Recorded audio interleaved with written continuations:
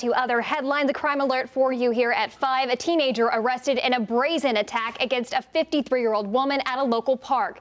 The assault happening in broad daylight at Nevin Community Park in North Charlotte. Police say 16 year old Ernesto Hernandez Campos is facing a list of charges, including attempted robbery and sexual battery. NBC Charlotte's Alex Shabbat following the latest developments on this case. He joins us from that park. Alex?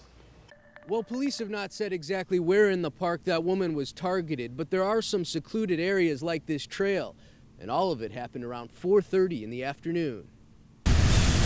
This is where Brandy Moss often comes for her lunch break, but what happened around here is enough to make anyone lose their appetite. That's extremely unsettling. 16 year old Ernesto Hernandez Campo accused of attempted robbery and sexual battery. Police say the teenager armed with a gun targeted a 53 year old woman around 4:30 yesterday afternoon.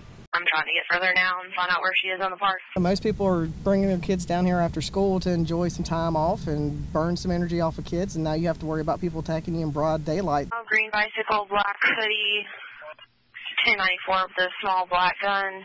According to the police report, several items were seized, including a revolver, ammo, and marijuana. Park visitors now thinking twice about where they spend their time. And it's so secluded anyway from the main path. There's not a lot of eyes that come through here, so definitely makes you aware of your surroundings. The suspect is also charged with possession of a handgun by a minor and possession of marijuana. He's being held in the Mecklenburg County Jail on a $14,000 bond. Police say it is an ongoing investigation. In Charlotte, Alex Shabbat, NBC Charlotte.